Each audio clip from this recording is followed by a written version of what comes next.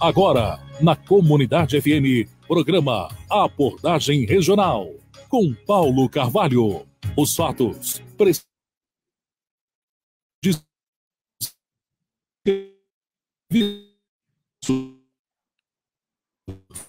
opinião.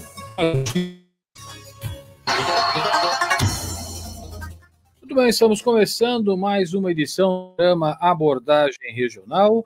Hoje é terça-feira, dia 30 do mês de junho. E como nós havíamos anunciado, nós estaremos conversando com o médico Dr. Cássio Balbino. Ele é médico cardiologista aqui pelo convênio Dona Balbina e hoje, neste momento, ele está na cidade de Ribeirão Preto, no seu consultório. Eu vou ver se ele já está me ouvindo e se a gente consegue ouvi-lo, né? Deu um pequeno uma queda aqui na, na conexão, mas eu acho que já está restabelecido. Doutor Castro, está me ouvindo? Bom dia. Bom dia, Paulo. Te escuto sim, muito bem. Bom dia a você, todos os ouvintes e telespectadores também, né? Que nos assistem aqui. Você me escuta bem. Beleza. Estamos ao vivo pela Rádio Comunidade FM e pela fanpage do Jornal do Porto. E agora eu acabo de publicar na página do senhor também, no, no perfil do senhor do Facebook. Então, quem segue o Dr. Cássio quiser acompanhar, é só abrir o perfil do Dr. Cássio que já estará lá. Doutor, é. antes de começarmos a, a, a, conversar sobre o tema, né, doenças cardiovasculares e a pandemia do Covid-19, eu queria que o senhor fizesse aí uma, uma breve apresentação do senhor. Quem é Cássio Balbino, médico cardiologista aqui no, no convênio de Porto Ferreira, doutor? Bom, eu sou o Dr. Cássio, é, sou médico cardiologista, trabalho tanto aqui na cidade de Ribeirão Preto, na área de cardiologia, minha especialidade dentro da cardiologia é a área de arritmias e, e marca-passo. É, também trabalho na cidade de Porto Ferreira, juntamente ao convênio Dona Balbina, atualmente atendo no ambulatório do convênio, e fico migrando aqui Ribeirão, Porto Ferreira, fazendo essa ponte aérea aí, quase que semanalmente aí trabalhando nas, nas duas cidades. Muito bem. Doutor, eu vou colocar um comentário no Facebook, eu acho que o senhor consegue enxergar e penso que o senhor conheça quem está escrevendo aqui, doutor. Doutor Rodrigo ah, Carlos, bem-vindo a Porto. Tens feito um excelente trabalho junto aos pacientes. Só elogios. Vem sempre para somar. Obrigado, então, agradeço. Doutor Rodrigo Sanderson, que ontem, inclusive, também teve uma, uma live, ele participou ah, de uma live aqui com o vereador Alan João falando sobre doação de órgãos. Ah, que legal, que bacana. Um abração para o Rodrigo. A gente está até combinando uma reunião aí, brevemente a gente vai se encontrar aí, então. Um abração para ele. Bom, vamos direto ao assunto, doutor, mas não tem como nós entrarmos no assunto sem colocar essa matéria que o senhor deve ter visto no início. Porto Ferreira registra a segunda morte por Covid-19.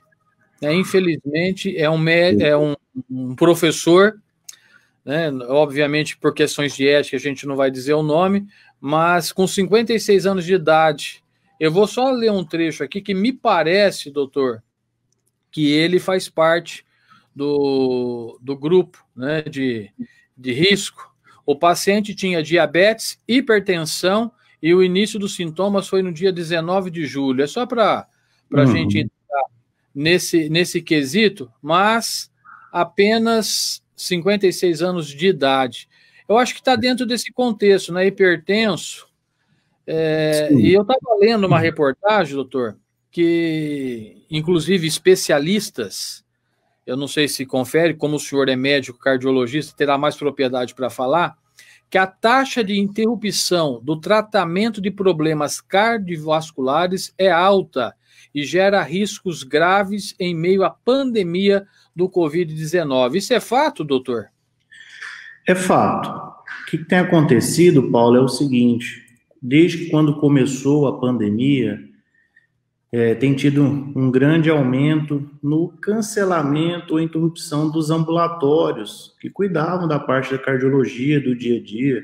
Eu mesmo fiquei com minha clínica particular fechada algumas semanas, Aí em Porto Ferreira nós reduzimos muito atendimento, alguns dias fechamos.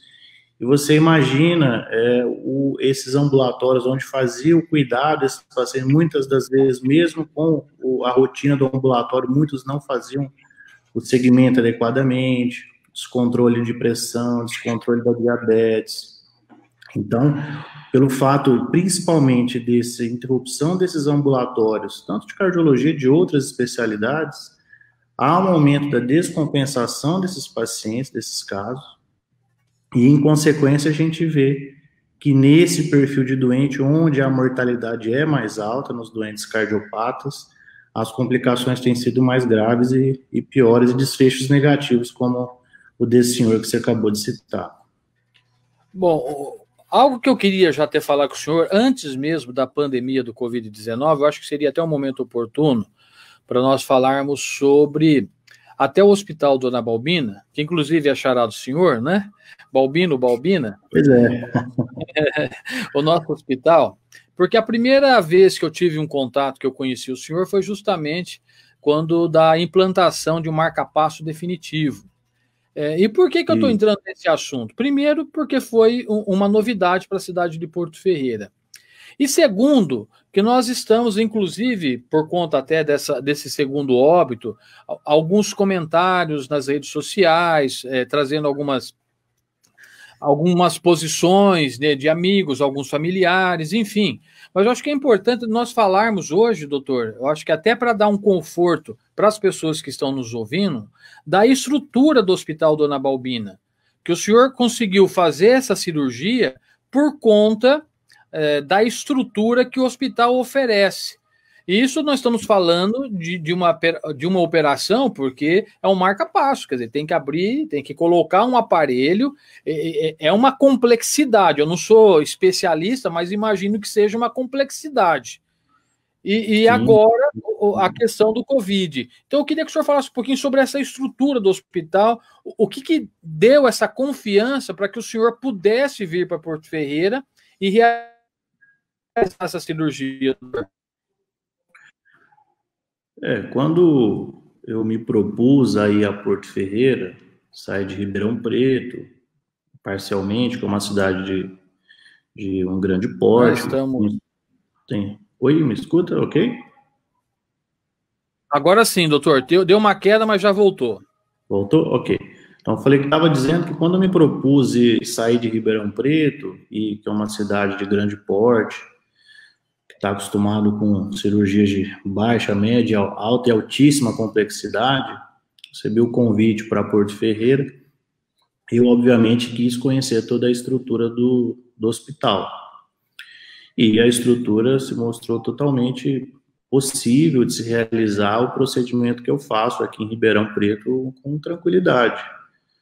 É, foi me dado toda a estrutura, tem estrutura de UTI, Hoje está sendo importantíssima a estrutura de UTI é, na cidade por conta da, da pandemia da Covid, então, e tinha, tem a estrutura, era muito bem montada, então, caso de complicações, eu precisava de uma UTI, eu tenho à disposição uma UTI com suporte é, muito bem feito, a estrutura do centro cirúrgico, enfim, eu me senti muito à vontade na cidade de me propor e realizar esse procedimento.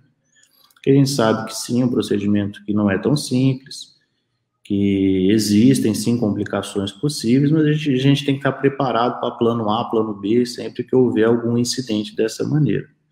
E o hospital, até o momento, sempre foi toda a estrutura, e aí já, já se vão aí quase 10 pacientes que receberam nesses seis meses que eu estou aí, que já foram implantados e todos, graças a Deus, bem, todos estão bem, desde o seu custódio, que foi o primeiro, quando você me deu uma entrevista, até mais recentemente um que, eu, que foi implantado. Então, eu fico, estou bem contente e feliz em, trabalhar no, no, Hospital Dona Balbina, onde toda a, a, estrutura tem sido dada e suporte da diretoria do hospital, pessoal da UTI, enfim, equipe de enfermagem, é só realmente até o momento elogios a, a, a vocês e um, algo ótimo para a cidade pro, e para os moradores e dos todos os cidadãos de Porto Ferreira, sem dúvida, né?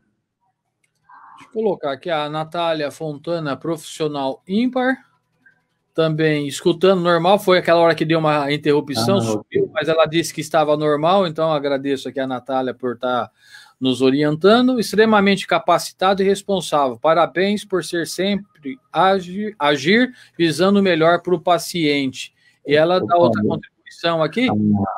A Natália, a doutora Natália, médica pediatra, ela é suspeita para falar porque ela, além de tudo, ela é minha namorada. Então, tudo que ela está falando aí é suspeitíssimo, viu?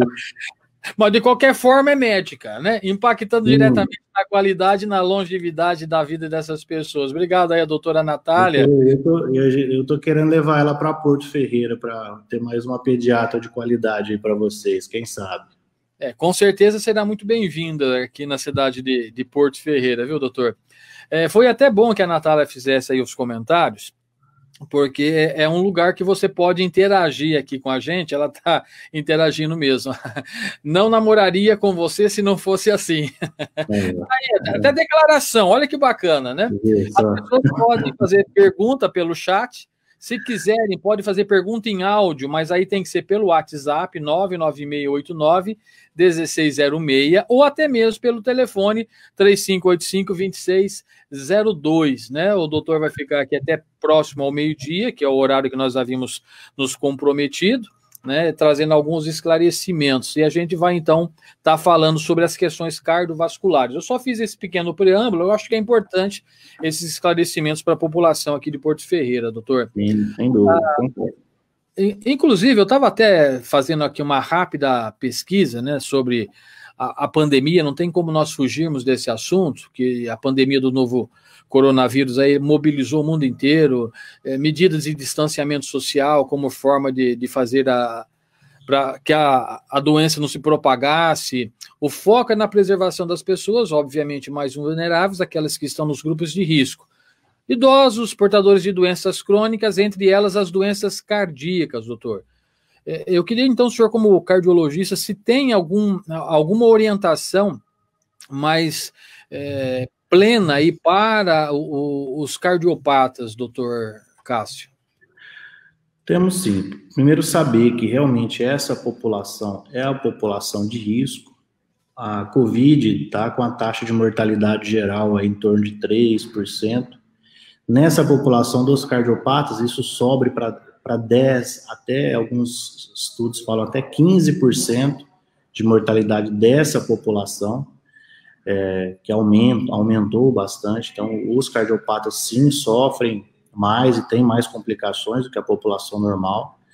Então, a orientação que eu faço para os meus pacientes e para os cardiopatas de uma maneira geral é que, primeiro, não abandone o tratamento, mantenham o uso das medicações, não deixem de tomar, não deixem de se cuidar. E ele sabe que realmente a medida única medida atualmente eficaz é o distanciamento, isolamento social. Ainda não há outra maneira de, de nos protegermos dessa, desse, desse vírus. Então, distanciamento, isolamento social, uso de máscara, é, lavagem das mãos, uso de álcool gel. Então, a proteção ainda é o melhor, a melhor maneira. E como agora aumentou, aumentou muitos, aumentaram muitos casos aqui no, no, no interior, e Ribeirão Preto está vivendo uma calamidade. Porto Ferreira também aumentaram muitos casos. Tivemos já o segundo óbito, os casos têm, têm aumentado a cada dia. Eu tenho contato com os, os médicos daí também, que trabalham na, na linha de frente. Então, é para os meus, pros, pessoas de uma maneira geral e também serve para os cardiopatas. Mantenham-se o tratamento, não, não abandonem e se protejam. Máscara, álcool e distanciamento social. Essa é a melhor maneira de se proteger. Não tem outra forma ainda não. A, a doutora Natália fez mais uma contribuição aqui. Ó. É muito importante que as pessoas que têm doenças cardiovasculares não deixem de fazer acompanhamento e seguimento é, quanto pior o controle da doença de base, maior mortalidade por outras doenças também. E a é importante, é, é, importante a gente comentar isso, porque tem acontecido muito, muito de mortes, mortes domiciliares. Muitos, Paulo, dos, dos, dos, pacientes, estão, as outras doenças, elas não sabem, a doença não sabe que existe uma pandemia. Então, o infarto, que é a, doen a doença que mais mata no mundo, ela não deixa de acontecer. O AVC não vai deixar de acontecer. As urgências de, de hipertensão não vão deixar de acontecer. E o que estava se vendo é o que está acontecendo é que aumentou-se muito. Houve um aumento de 15% de mortes domiciliares. Muito, algumas por Covid, sim, mas a grande maioria por outras doenças. Então, se o paciente está tendo sintoma, medo de se contaminar, vou ou não vou no posto, então se está tendo sintoma, não está sentindo-se bem, dor no peito forte, que irradia para o braço, para o pescoço, falta de ar importante, suor frio, tem que procurar atendimento, porque em casa não é lugar de ficar nessa situação. Quando você estiver bem, fique em casa. Se tiver algum sintoma, deve procurar. Que as mortes domiciliares realmente aumentaram. Então é importante a gente citar isso aqui para orientar a população que deve sim evitar ao hospital, porque sim há um, um aumento de, de, possibilidade de contágio. Agora, se estiver sentindo-se mal, tiver algum sintoma, deve ir, como sempre precisou. É porque agora está na pandemia que as outras doenças vão parar de existir. É importante lembrar disso. Muito bem, deixa eu colocar aqui. A Zenilda fez um comentário. Eu amo esse médico. A Natália, mais uma vez, perfeita colocação. Eu cheguei numa pergunta de Leme, do doutor Marcel Botelho, ele é da cidade de Leme, e pergunta o seguinte: Bom dia a todos. Sempre tive problemas com sobrepeso. Gostaria de saber se existem pesquisas que realmente comprovam uma correlação concreta entre a obesidade e, a doen e doenças cardiovasculares, doutor. Aí Sim. ele já responde a minha dúvida também, é, né? Se você, como meu paciente, já te falei isso lá no consultório, que existe total relação, né? Sim, a obesidade tem uma grande relação com, a, com as doenças cardiovasculares. Então, faz parte do paciente que tem alguma cardiopatia o controle do peso. A obesidade aumenta a mortalidade dessa população, aumenta as complicações. Então, sim, existe já vários estudos que existe relação concreta entre obesidade e doenças cardiovasculares. Uma série de mecanismos envolvidos por conta disso. Então, é, existe sim e sempre há Atividade física regular, controle de peso é fundamental para uma vida mais saudável e longeva. Deixa eu ver, chegou mais uma aqui, doutor. Vamos colocando conforme for. A gente vai tentar é, esclarecer todas as pessoas que forem perguntando.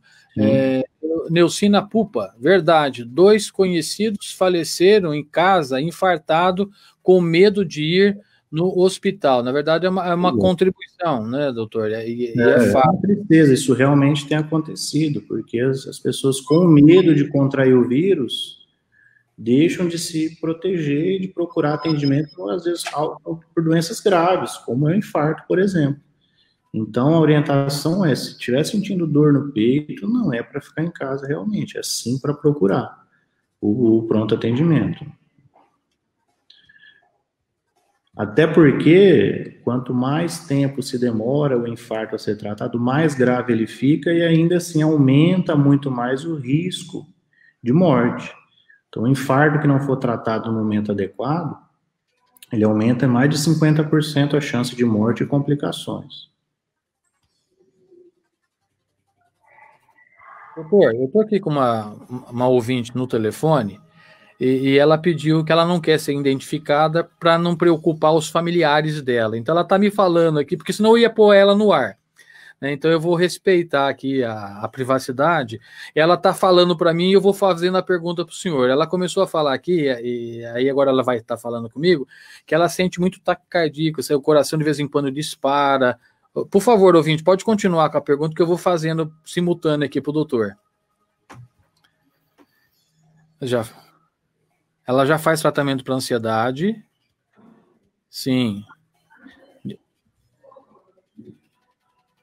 Tá.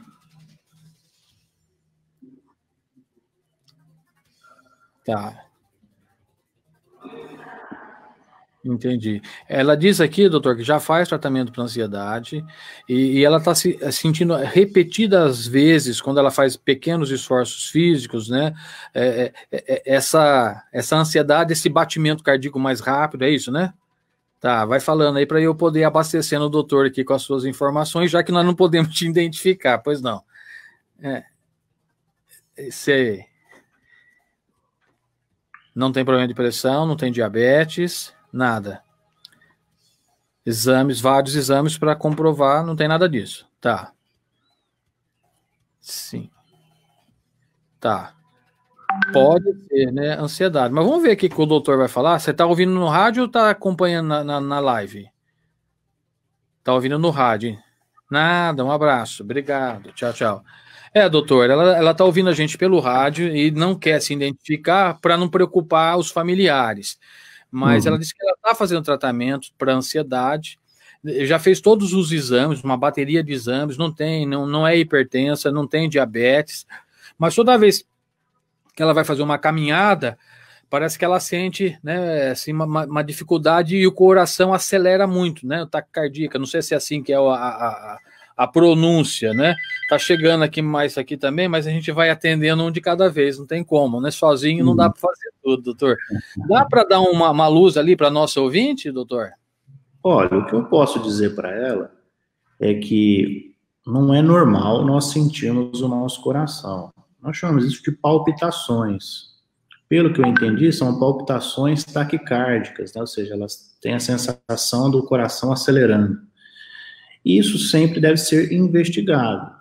O fato dela ter ansiedade, fazer tratamento para síndrome de ansiedade, pode ter alguma relação ou não. Então, para a gente verificar realmente se existe relação direta com somente com a ansiedade ou se ela pode estar tendo algum problema cardíaco, ela precisa passar por um atendimento por consulta.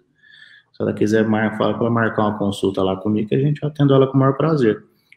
Para definir se precisa de uma investigação para ver se ela tem alguma arritmia, se não, o que está acontecendo, se alguma relação com as medicações que ela está fazendo uso, ou se isso é um quadro de ansiedade que às vezes pode desencadear essas sensações. Também isso está acontecendo muito, até em relação com a Covid, o pessoal ficando mais em casa, a ansiedade tem aumentado, preocupações, medos, isso é natural, e às vezes são confundidos com sintomas cardiológicos.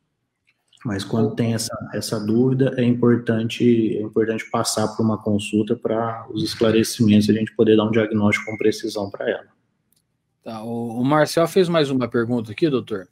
É, gostaria de fazer mais uma pergunta. Meu pai faleceu de infarte e minha mãe tem uma condição cardíaca também. É, existe o fator hereditário? Pode contribuir para a probabilidade nessas doenças, doutor? Sim, isso pode também ter relação, ainda mais no caso do, do pai dele, que ele disse o diagnóstico, foi o infarto. Infarto é grande associado a problemas de que a gente chama de aterosclerose, quando é o acúmulo de gordura nas nossas principais artérias. Isso está muito relacionado, sim, com fatores de risco a, associados à genética também. Claro que isso não é isolado, então a obesidade, o tabagismo, o, abuso de álcool, a falta de exercícios, todas essas outras são condições que corroboram com esse diagnóstico. Mas sim, o fator genético também está envolvido, principalmente quando há, que a gente mais preocupa, é quando há morte na família de pessoas jovens. Ah, por exemplo, meu pai morreu, ele, ele tinha menos de 50 anos, ele teve uma morte ele morreu de repente, um infarto fulminante, algo assim. Isso chama ainda mais atenção. Porém, mesmo em que não há ocorrido a morte, se já o pai dele já teve infarto, sim existe essa associação é, hereditária também que contribui. Não é obrigatoriamente que ele também vai ter, mas isso é um, é um mais um fator de risco associado, então mais algo para ele se preocupar. Doutor, tem uma aqui, não é bem uma pergunta, eu acho que a gente vai ter que dar mais um conselho para a Irani, o Shelly. Uhum. Ela tem artrite reumatoide tenho consulta no HC em Ribeirão Preto, mas estou com medo de ir. O que, que o senhor orienta a, a nossa ouvinte aqui, doutor? Ó, oh, é complicado, porque até onde a última informação que eu, que, eu, que eu tive é que realmente a maioria dos ambulatórios do Hospital das Clínicas estava fechado. Então, muitos desses pacientes acabam ficando realmente sem poder a quem recorrer e perdem as consultas ambulatoriais. ainda mais de algumas especialidades, né, como a reumatologia. É, então, caso realmente eles tenham confirmado a consulta, ela liga lá, confirmar, e realmente ela, é, eles vão funcionar ambulatório normalmente, é, existe sim o risco, não tem como falar que não, mas tomando todas as devidas precauções, protegendo distanciamento social, é possível sim passar. Geralmente eles estão fazendo esquema com ambulatório reduzido, com muito menos pessoas, para evitar aglomerações. Então, caso o, o, a consulta dela esteja confirmada, ela ligar lá, realmente checar essa informação. Se ela tomar as, as medidas necessárias de precaução, acho que não há problema que ela vá sim à consulta. Tá, doutor, tem uma pergunta aqui no nosso WhatsApp, 996891606. É, e a pessoa também está tá aqui com uma dúvida, né? É, Luiz Henrique, aquele da, da Vila Daniel, está ouvindo a gente pelo rádio, não está acompanhando pela live, até por conta do serviço, que o radinho fica ligado, ele consegue é, ouvir e continuar com algumas ações. Mas ele queria saber se existe é, alguns sintomas né, da, do, do Covid-19 que problemas de cardiopatas, cardiovasculares podem ser assemelhados. Quer dizer, você pensa que é Covid, mas na verdade é um outro problema, problema de coração, algum outro problema. E, e, e como saber a hora certa de ir no pronto-socorro, doutor? Bom, não. A Covid é uma causada por um vírus é uma doença do trato respiratório. Então, o paciente vai sentir os sintomas clássicos de nariz coriza nasal, né, nariz obstruído, febre, tosse seca, dor de garganta, às vezes falta de ar. Então, seriam esses sintomas da COVID. Relaciona isso pode ser confundido com sintomas cardiológicos? Sim. Principalmente porque já se sabe que e até afetava o coração. Porque a COVID é uma doença que causa, que a gente, nós chamamos de uma hiperinflamação. E às vezes essa inflamação exagerada, muita, muitas das vezes, ela pode acometer também o coração, gerando uma inflamação cardíaca. Então, sim, pode aumentar as chances de arritmia, pode chamar, nós chamamos de miocardite, que é a inflamação do músculo do coração. Esses pacientes que já têm problemas de coronária, já tiveram infarto, pode acontecer de ter uma outra placa que está em situação de possível obstrução, de possível e que a inflamação gera essa obstrução na coronária, ele ocasiona um infarto por conta da COVID. Então, sim, podem os sintomas se confundirem em casos mais graves e às vezes piorarem problemas cardíacos pré-existentes colocar aqui também a Zenilda Lopes, parabéns, doutor, pelos esclarecimentos. A doutora Natália disse que o doutor Cássio Bobina é especialista em arritmias, né? Que o senhor falou logo no, no início desse nosso bate-papo, que as pessoas aqui co colaborando com a gente. É, deixa eu ver aqui, doutor, que chegou mais uma, e é, é, é que são muitas muitos veículos, né? Tanto pelo telefone, pode ser pelo WhatsApp ou pelo Facebook, alguns colocando também na, nas mensagens. É, aqui é mais ou menos está dentro do, do, do risco do, do, do, infarto. A pergunta aqui da Adélia, é da Vila Nova, ela justamente fala sobre essas questões, né, do que a gente está falando muito de, de, do, do Covid ser assintomáticos. É possível um, um cardiopata ser assintomático em relação ao Covid? É possível, é possível, isso pode acontecer. Não quer dizer, se o paciente ele contrair a doença, a COVID-19, ele for um cardiopata, não quer dizer que ele está decretado o fim, esse paciente vai complicar.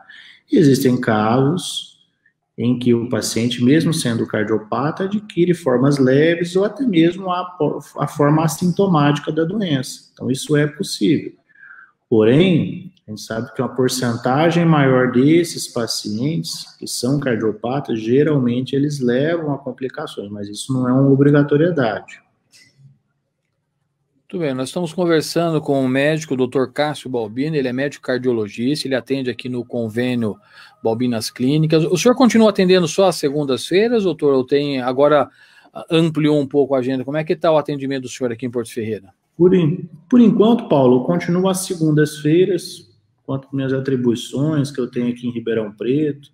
Dou aula na faculdade Estácio, aqui também para o curso de medicina, trabalho na, na, Santa Casa de Ribeirão, tenho um consultório aqui em Ribeirão também. Então, devido às atribuições, por enquanto eu estou só segundas-feiras, mas com a ideia, assim, de ampliar uh, os meus dias aí. É, e eu, quem sabe agora, por, por conta da pandemia, esses, esses planos ainda estão em, em interrupção no momento, né? Porque tudo foi já está meio parado de uma certa maneira, então a gente está aguardando dar uma, uma esfriada em toda essa situação da Covid para a gente realmente determinar isso no futuro. Mas a ideia é que sim, é que eu aumente realmente os atendimentos aí na cidade. Vamos aqui, a Silvana Rodrigues. Doutor, nessa época de pandemia, é aconselhável fazer regime?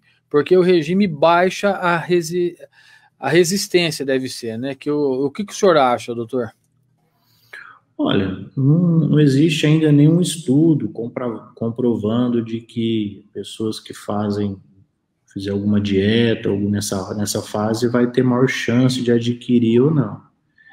É, existe certa dúvida se realmente a dieta, a não ser que sejam dietas extremamente restritivas, algo nesse sentido, uma dieta muito é, rigorosa, que pode abaixar a imunidade.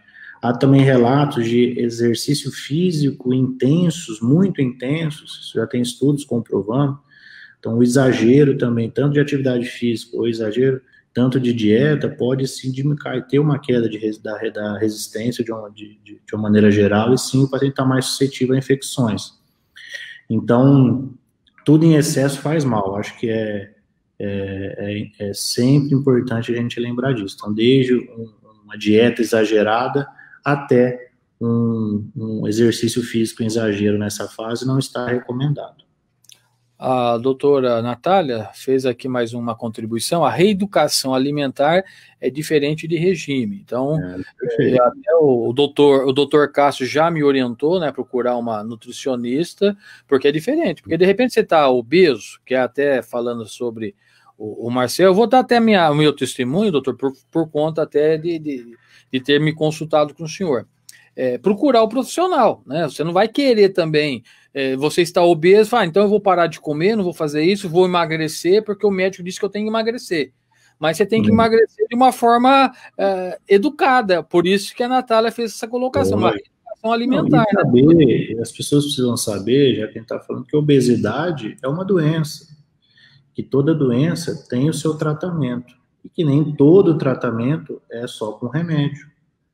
Então, e hoje existem profissionais dessa área, que é o nutricionista, o médico nutrólogo, que pode fazer essa orientação, trabalhar junto com o cardiologista para orientar essas pessoas e fazer uma, uma reeducação alimentar realmente. A, a Natália, mais uma contribuição. A pessoa ter uma dieta mais saudável, com hábitos de vida, só tem a agregar. A Fátima, doutor, fez uma pergunta aqui pelo nosso WhatsApp, também ela é aqui do centro. Na verdade, é, é, é uma dúvida que está sendo até pertinente. Eu até conversei com o Coronel Márcio Simplício, ele é secretário de segurança aqui da cidade de Porto Ferreira, porque o senhor sabe por conta das restrições aí eh, da Covid-19, né, está ampliando. Existe um decreto estadual e também municipal sobre a obrigatoriedade da utilização das máscaras, né? Você tem que, em lugares públicos, usar máscaras, independentemente de ter ou não a doença, está sendo recomendado o uso da máscara.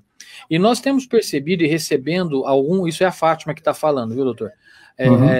muitos áudios de pessoas que se intitulam médicos, eu não posso falar se é ou não, porque tem lá. Aqui nós sabemos que é, inclusive, na divulgação do banner, eu coloquei até o CRM do Dr. Castro para todos saberem, e é médico. Eu conheço, nós estamos aqui, não, não iríamos abrir o microfone para alguém que nós tivéssemos a dúvida.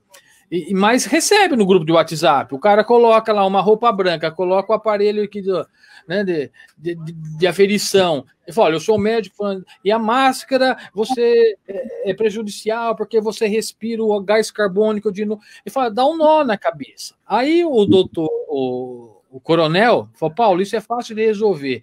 Eu sou um cumpridor de lei. O decreto diz: multa para quem usa máscara. Se tiver sem máscara, vamos multar. Se a pessoa tiver problema cardiovascular, coisa e tal, vai ter que ter uma recomendação médica, tá no grupo de risco e tem que evitar sair. Isso foi a resposta dele. Eu queria o senhor, como médico, é, falasse um pouquinho sobre isso. É, se uhum. realmente é, faz todo esse mal que alguns áudios nas redes têm falado. É a Fátima que pergunta, doutor. É, respondendo a Fátima, assim, a gente trabalha com ciência, né? E o que é se, que se foi comprovado que sim, o uso de barreiras, como a máscara, diminuem a transmissão do vírus. Então, por isso que as, a Organização Mundial de Saúde, o Ministério da Saúde, o Estado, o Estado de São Paulo, todos têm recomendado que se use a máscara, sair, que diminui a taxa de contágio. Agora, existe também uma etiqueta a usar a máscara, uma maneira correta, evitar colocar a mão na, na parte da frente da máscara. Essa máscara, essas de tecido, ela deve ser trocada por, por alguma nova, alguns falam cada duas, três horas. É, ela precisa ser higienizada, limpa. A máscara tem que ficar protegendo o nariz e a boca, não é para a máscara ficar no queixo, ficar na testa então, precisa, sim, além de usar, não é saber que você vai estar totalmente imune, mas que sim, que a taxa de transmissão tem diminuído. Isso que os estudos mostraram, que a máscara causa esse benefício. E é lamentável, vale falar, ter que a gente multar as pessoas por conta de não usar. Isso é lamentável, né? Se é orientação, todo mundo sabe, estamos numa pandemia. Ribeirão Preto, por exemplo, aqui em Ribeirão Preto são 167 leitos, dados de hoje, disponíveis. 164 estão ocupados. Ou seja, tem três leitos, a cidade toda, para Ribeirão Preto. Então é lamentável a gente ter que, ainda em pleno 2020, a gente ter que multar alguém por uma ordem de saúde, né? É triste. Mas, às vezes, aquela história, né? parece que as pessoas só sentem a hora que pesa no bolso. Então, acho que teve que partir para essa medida, medida mais radical aí, infelizmente. Deixa eu pegar aqui, doutor Abílio Cortes. Olá, Paulo, doutor Cássio, estou acompanhando a entrevista e bem esclarecedora. Minha pergunta é, é: quando sabemos que estamos tendo problema cardíaco? Muitas vezes não sentimos nada e o mal está aí. Boa pergunta da Billy, doutor. É. Bom, igual eu falei, o, os sintomas mais clássicos geralmente são que eu, que eu citei no início da conversa, então que estão relacionados principalmente às doenças da coronária, que é o infarto, é, que é a dor no peito, geralmente ela pode irradiar para o braço, para o pescoço, associada à falta de ar, pele fria, mal-estar geral, então isso pode acontecer. E realmente algumas doenças cardíacas são silenciosas, uma delas é a hipertensão. Às vezes ela não causa nenhum sintoma, o paciente está super hipertenso. Por isso que fica a orientação que esses pacientes devem fazer atendimentos preventivos. Então, análise, ida, ida pelo menos uma vez ao ano nos pacientes é, no consultório do cardiologista, mesmo que não esteja sentindo nada, porque muitas doenças, assim como ela disse, realmente são silenciosas. Então, aí a única, a única maneira de descobrir é investigando, é a prevenção. Então, se faz parte realmente a prevenção nessa situação. O, doutor, é muito comum as pessoas hipertensas, no meu caso, inclusive, estarem com a, a pressão acima do normal, né, tipo 15, 18, e não sentirem nenhum tipo de, de, de, de dor, porque eu já ouvi algumas pessoas, alguns relatos de amigos que estão hipertensos, que quando a pressão dá um pouquinho de alteração, ele já sente uma dor de cabeça na nuca, enfim. Mas é mais comum do que a gente possa imaginar o hipertenso não sentir nada, doutor? É bem mais comum que a gente imagina. Muitas das vezes o paciente não sente nada e a pressão está super descontrolada. Eu vejo isso no consultório com frequência muito elevada.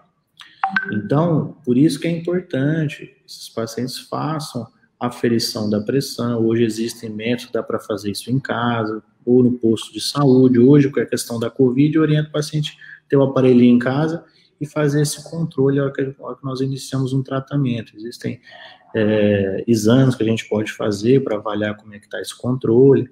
Ela pode ser tanto ambulatorial, residencial, existem métodos para fazer isso, mas muitas das vezes ela é, sim, totalmente silenciosa. O que dificulta, às vezes, ah, o entendimento do paciente. Ah, se eu não sinto nada, eu não devo ter nada. E até a compreensão de seguir o tratamento.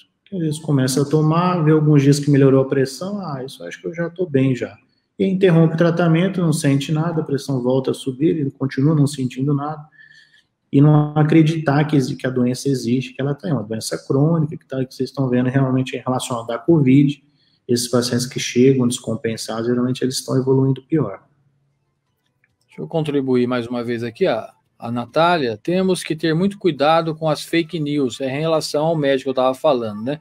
Devemos sempre checar as fontes das notícias que nos são repassadas. Eu queria até pegar essa deixa aqui da, da doutora é, Natália.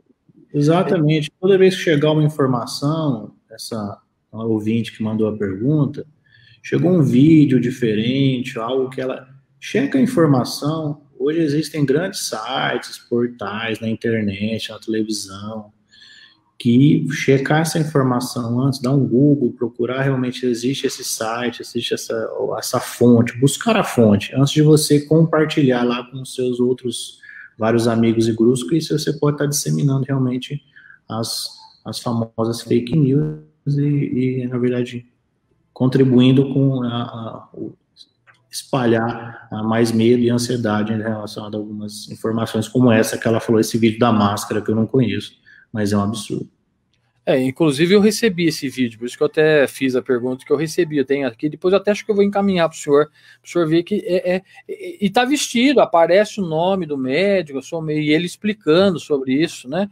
Então acho que é interessante as pessoas, antes de compartilhar, como o doutor falou, é, verificar as fontes. O problema, doutor, é que às vezes as pessoas, assim, na, na, na, ânsia de, de dar a notícia, ou até por medo, ah, eu falo, e começa a compartilhar. Aí eu recebo o compartilhamento de uma pessoa que eu tenho uma consideração e um respeito, e, eu, e aí vai virando essa, essa grande bola de neve, né? É, exatamente. Ah, falta de consciência coletiva tem sido o grande mal. E tem mais um comentário aqui do Osmir Machado Júnior, doutora Natália Fontana, nomeada assistente de cardiologia.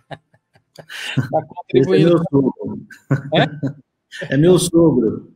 Ah, então tá, tá, tá, explicado, né? Tá aqui a família toda aí na cidade. Tá todo em Ribeirão? Toda acompanhando o seu programa, viu, Paulo?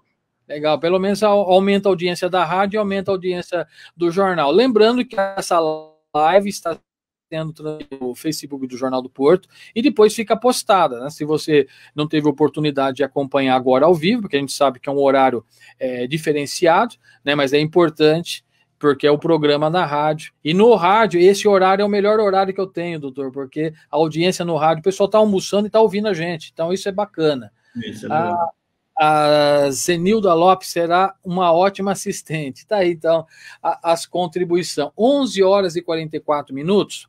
Doutor, como nós tínhamos aí um compromisso, e agora, logo após a nossa entrevista, eu tenho a sessão da Câmara, que foi transmitida ontem, e eu repercuto agora na hora do almoço. Então, mas antes tem mais uma pergunta da Bíblia aqui.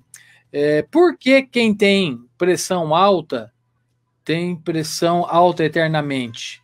Tomando remédio, se você para um ou dois dias, ela sobe de novo, doutor? Pois é, Billy, essa, porque a hipertensão é uma das doenças crônicas.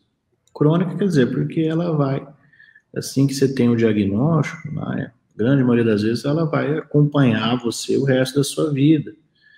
E o tratamento, que não é só o remédio que é o tratamento, existe também, eu sempre falo meus pacientes, que o controle da hipertensão não é só o remédio, o remédio milagroso que vai fazer o todo o benefício, o paciente também precisa ter algumas atitudes, né? Então, precisa diminuir o sal da alimentação, precisa fazer atividade física regular, precisa se alimentar corretamente. Então, esse é o, o, o todo a, para o controle da pressão envolve tudo isso, né? Então, não só o remédio. Então, exatamente, se você para, você para um desses, ou o remédio, e a, pressão obviamente vai voltar a subir. Ou se você volta a comer uma comida muito salgada, a pressão também vai voltar a subir. ou sua alimentação está muito desregrada, sua pressão também vai se alterar. Ou você fazer atividade física regular, sempre fazer sua caminhada diariamente, e você de repente para com isso, também a pressão vai subir. Então, quando você interrompe qualquer fator desse do, do tratamento da hipertensão, sim, ela acaba se elevando.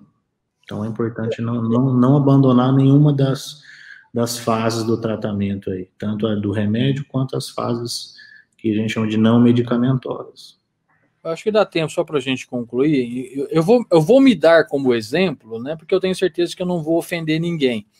É, como eu consulto com o senhor, né? Eu consultava até. Eu, como seu médico, estou aqui. Se você contar mentira, eu vou te desmentir ao vivo. Exatamente. É, a Billy fez a pergunta de tomar remédio, toma remédio e vai tomar remédio eternamente. Aí, para um dia, sobe a pressão. No meu caso específico, né? Porque aí eu acho que até ajuda o Marcel, que também tem essa questão de obesidade.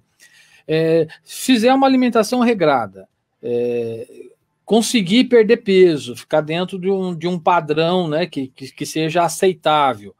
Né? É, existe a possibilidade de parar um dia de tomar o remédio, ou quem é hipertenso, mesmo tendo todas essas medidas, pode é, não influir diretamente na, no descontinuar o uso do remédio, doutor? Oh, isso pode acontecer em situações, primeiramente, em que a obesidade tem uma contribuição muito grande no, na questão da hipertensão. Porque a hipertensão, a gente fala que ela é multifatorial, tem umas, várias situações envolvidas é, até a própria apneia do sono, por exemplo, só para citar um exemplo também, que contribui com a questão da hipertensão. Às vezes, você controlando o sono desse paciente, você também consegue normalizar os níveis de pressão. Então, quando a obesidade é um fator de extrema importância no contexto da hipertensão desse paciente, o fato de um, um emagrecimento ou até a própria cirurgia bariátrica, em alguns casos, tem sim às vezes normalizado a pressão, mas isso não acontece sempre, nem com tanta frequência. A diabetes também, alguns pacientes que bariátricos principalmente, que têm indicação, obesos mórbidos, que já estão com doenças associadas, diabético, hipertenso, onde essa, essa hipertensão, essa diabetes, ela é o diagnóstico é em torno de menos de 6, 5 anos, após a, a realização da bariátrica, em alguns casos, sim, tem se normalizado os níveis de glicemia e, e, e, às vezes até normalizados os níveis de pressão arterial. Mas isso não é uma regra, isso vai variar de caso a caso.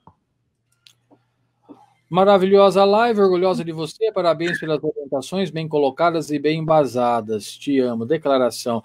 Ô, doutora, vamos fazer o seguinte: a gente precisa marcar agora uma com a pediatra, né? Eu estou sem médica pediatra para eu fazer live, então a gente pode, se o doutor aí depois passar o contato, a gente pode marcar na próxima semana, nesse horário, se ela puder, ou meio-dia, ou na quarta, e a gente vê um horário que eu não sei qual que é o atendimento. Não, eu, eu, passo o contato dela para você depois e, e aí vocês agendam aí, com certeza vai ajudar muito o pessoal em relacionado à pediatria aí, que também tem muito, o pessoal tem muitas dúvidas aí também.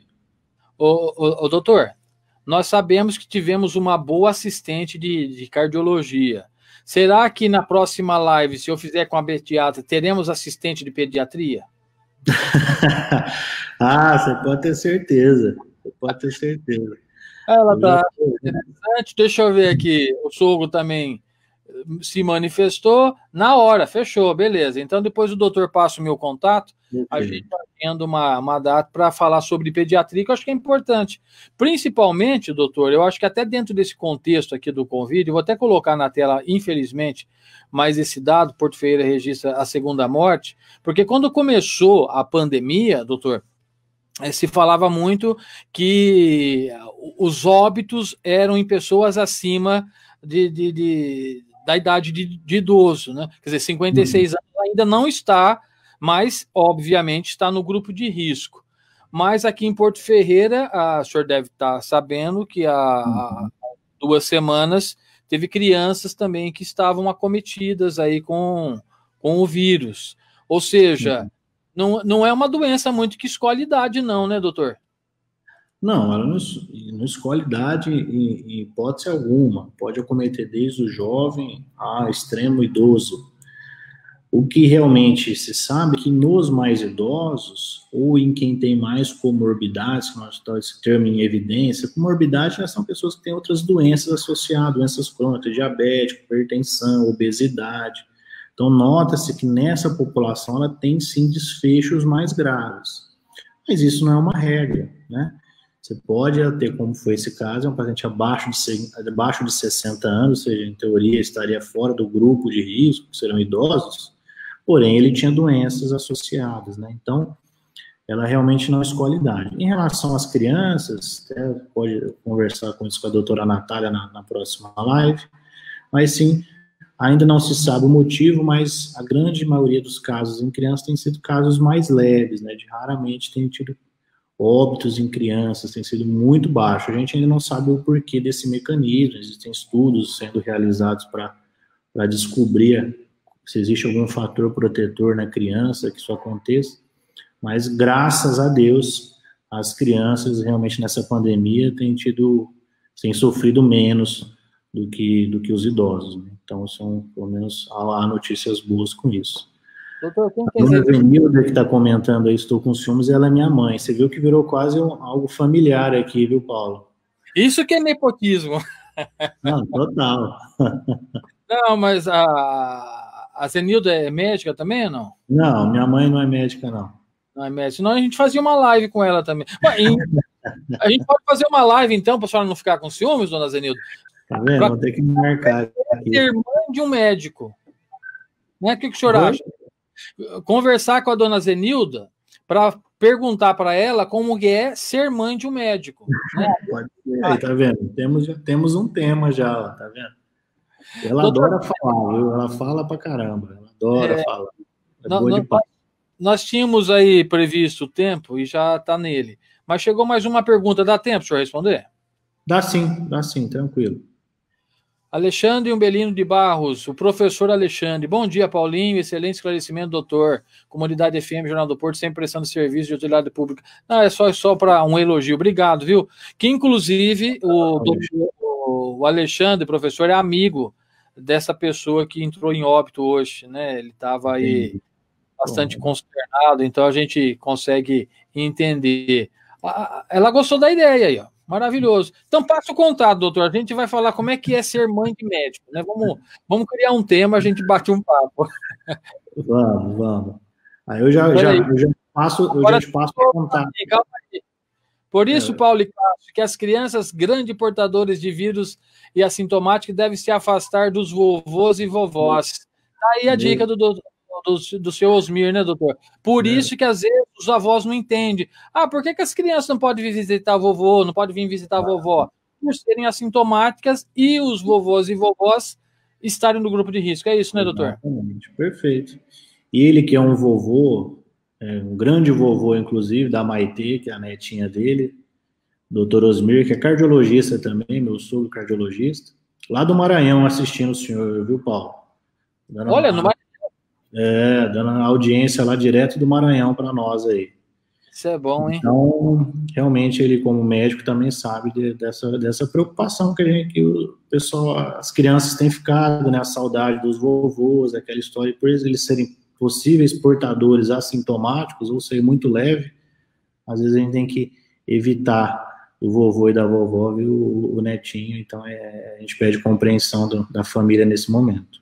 Ah, o, o doutor Osmir é médico especialista em que, o doutor Cássio? Cardiologista também. Opa, então a próxima live vai ser com um cardiologista do Maranhão. Pronto, já estou aí. Pronto, fazer uma live toda a família Machado aí. Doutor, 11h55, extrapolei uns minutinhos, mas está dentro do contexto. Eu sei que o senhor está aí no consultório em Ribeirão Preto, né, fazendo aí o, os atendimentos. Deu uma, uma pequena interrupção, deixa eu colocar aqui, Nelsina Pupa, excelente médico, doutor Osmir. Tá aí, obrigado aí pela, pela contribuição. Eu vou deixar o senhor na tela para que o senhor faça então as considerações. E se tiver algum assunto que o senhor acha que é importante dar a dica que nós não falamos, fique à vontade, doutor. Não. Então, Paulo, só queria agradecer pelo espaço aí na rádio, mandar um abraço a todos o cidadão de Porto Ferreira. Tenho sido muito feliz aí nos últimos meses trabalhando aí na cidade. E reforçar a questão do quem puder realmente que fique em casa, que se protejam. Estamos no meio de uma pandemia grave que ela chegou com força agora no interior de São Paulo, nas nossas cidades. A tendência é que os casos vão aumentar ainda, os óbitos, infelizmente, vão acompanhar esses números.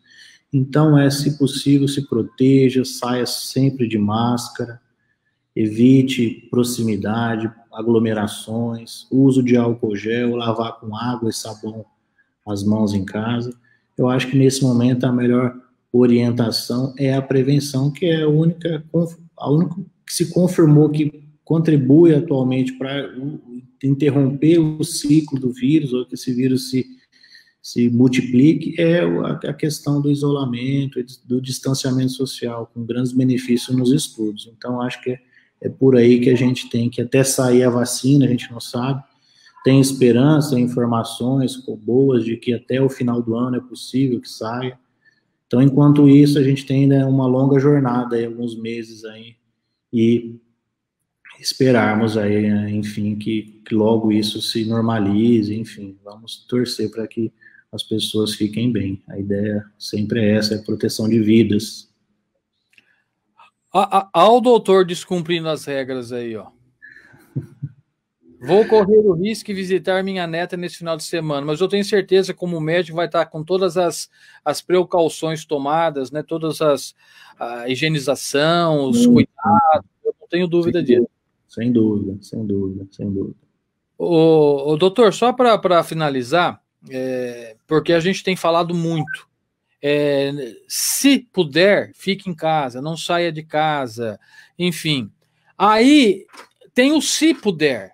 Pessoas que têm doenças, que são cardiopatas, que têm problemas, você não está naquele se puder, você tem que sair e ir no ambulatório e procurar o um médico, né? Faça aí o agendamento. Eu acho que aqui o Hospital Dona Balbina está tomando todas as precauções, o, o, o próprio atendimento. Estou falando porque eu, eu, eu, me consulto com o doutor.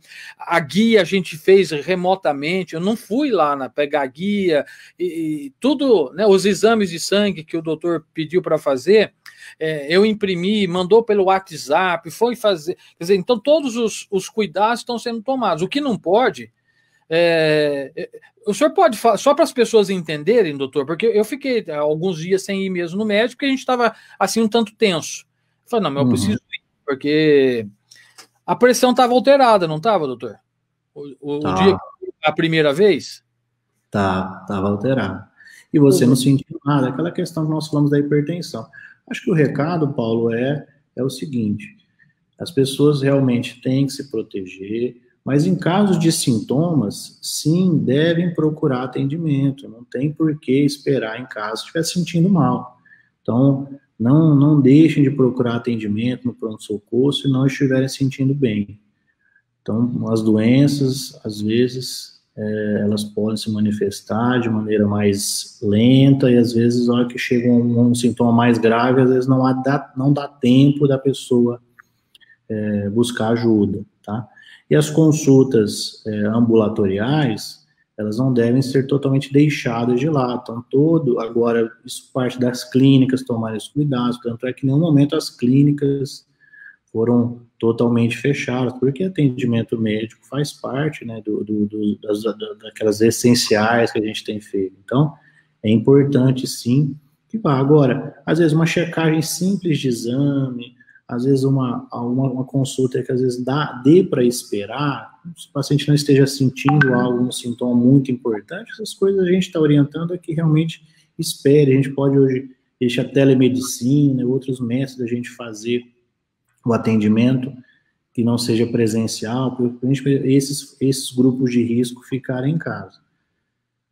Então é que a marca-passo, avaliações de marca-passo que a gente tem que fazer, então às vezes a gente fica naquela, né, com medo, mas em situações que a gente precisa ver esses, esses dispositivos, fazer essas avaliações de marca-passo, alguns, alguns perfis de doenças a gente precisa sim avaliar, investigar, então e que seja feito com todo cuidado e mantendo as, as orientações de distanciamento e proteção. Doutor, essa imagem aí do Felipe Lamelas eu fiz de propósito, deixei, ele mandou agora. Ele é ferreirense, está esse ano ele conclui o jornalismo, ele está na cidade de Bauru e está ouvindo a gente lá em Bauru, na Opa. cidade porque ele está fazendo tele, teleaula, né, tudo à distância, mas em uhum. algumas precisou ir para levar a documentação e tudo mais. Quero agradecer o Felipe, que tem feito várias lives também, viu, com profissionais, é, trazendo e esclarecendo a população. Doutor, mais uma vez quero aqui agradecer a disponibilidade do senhor para falarmos aí sobre doenças cardiovasculares e a pandemia do Covid-19. Uma boa tarde, um bom trabalho para o senhor. E depois passo o contato para a gente fazer com a doutora pediatra, né? Os cardiologistas. Vamos, porque acho que nessas horas é uma ferramenta que traz informação importante. Deixa eu ver que chegou. E aqui é informação que a gente tenta passar informação real, fidedigna, formação baseada em, em evidências, em, em, ciência, né, do que o medo das fake news do WhatsApp que tem rolado. Então, acho que é um, é um trabalho que você faz que, que deve continuar, viu, Paulo? Entreviste mais médicos, mais, mais colegas que estão na, na, na linha de frente, que trabalham com isso, para a gente manter o, boas informações sempre passada para frente. Legal, doutor. Parabéns. A Thaís Fontana deve ser parente também, né? Parabéns, doutor Não, não é nada essa. Vendo que eu falei, eu tô, é nepotismo total, tá toda a família aqui. A Hoje, Thaís, é médica, médica e também, trabalha em Porto Ferreira, a doutora Thaís, viu, Paulo? Aí, mais uma aí para a gente estar tá conversando, então. A doutora Thaís tem trabalhado na linha de frente contra o Covid aí, uhum. na cidade de Porto Ferreira também. Vamos, vamos agendar com a doutora Thais para a gente bater um papo, falar sobre esse trabalho aqui em Porto Ferreira.